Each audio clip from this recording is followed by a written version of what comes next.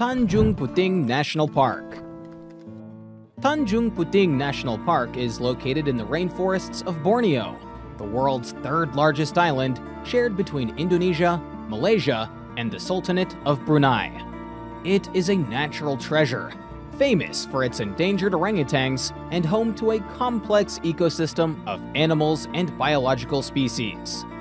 While orangutans are the obvious appeal, the park also has the odd-nosed proboscis monkey, the fragile clouded leopard, and over 200 bird species.